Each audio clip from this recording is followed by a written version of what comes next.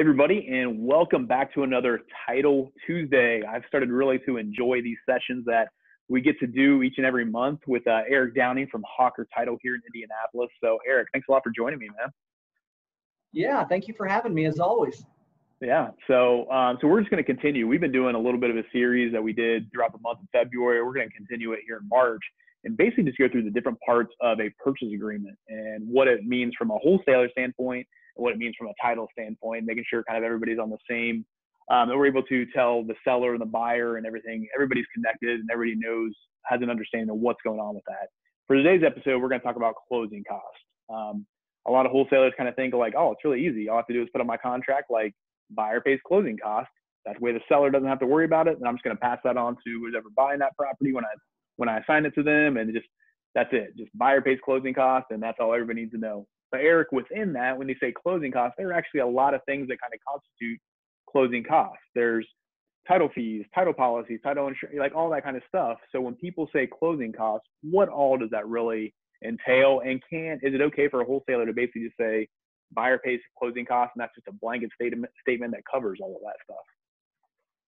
Yeah, so I mean, it's a great question. We run into this a lot because anything that's involving money at the closing table is usually the more um, emotion. It kind of triggers more emotions again, uh, you know, for the buyer and the seller. And so we do see a lot of confusion. People think that because they wrote buyer pays all closing costs, that that's going to just immediately signal that there'll be no fees for the seller to pay, and that's not actually true. So um, a great topic, great great thing to go through and help you know wholesalers understand it better. So every purchase agreement's a little bit differently. The ones that we see a lot from wholesalers typically are one to two pages.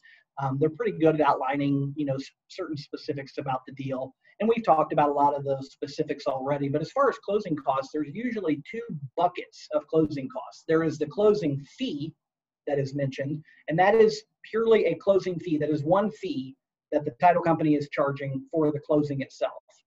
Um, you know, so let's put into perspective. If there's 10 fees that a title company charges for various items, that's just one of those. So if you're if you're writing anything about a closing fee, just remember you're just talking about one item. You're not talking about all the the items. The second bucket that usually attaches more of the fees to it is who's paying for title insurance.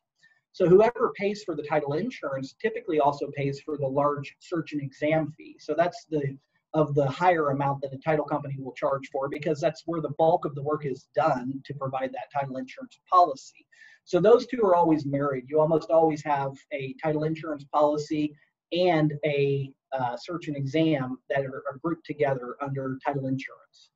Um, if they're really looking for, you know, the buyer to pay all, usually under further conditions, which I know is going to be something we talk about in a later episode, but under further conditions, that's where they really want to state Seller has no fees at closing, buyer assumes all. But keep in mind, you've still got tax prorations to consider. Is the buyer really going to assume that? You have potentially liens against the property. Is the buyer going to assume that? So you have to be a little bit more specific and say, you know, something along the lines of buyer pays all title fees, seller pays, you know, liens uh, or free and clear title or whatever you want to say to make sure that the seller is going to be on the hook for the items that maybe are attached to the property and aren't anything to do with the closing. And then the buyer is going to pay for all of the closing fees from the title company. So it's it's a great a great topic. Yeah, so that's where I like to kind of have that, you know, more just like buyer pays closing costs, more of that just a blanket statement like buyer's going to pay all, you know, all fees associated with closing, including the closing fees and the title insurance, stuff like that. That way they know also oh, I'm not going to pay anything that's related, that's not related to closing that was like tacked on from before or anything like that. So, and I know on our next uh, little uh, Title Tuesday that we're going to record right after this actually is the proration of taxes, which is always a huge topic that uh, kind of messes up a lot of stuff at closing and stuff like that. So awesome. Yeah. So when you're talking about closing costs, make sure that you understand that it's really kind of two, probably into two different buckets. There could be a lot of things that fall into that, but really you're talking about the closing fees themselves but then also kind of the title policy, which is the search and exam and the kind of that insurance policy that comes behind that as well. So thanks a lot for this episode of Title Tuesday, and we'll see you guys next week with the next episode. Take care.